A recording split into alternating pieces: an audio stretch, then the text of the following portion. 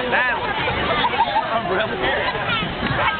and gentlemen, the Boaz High School Pirates.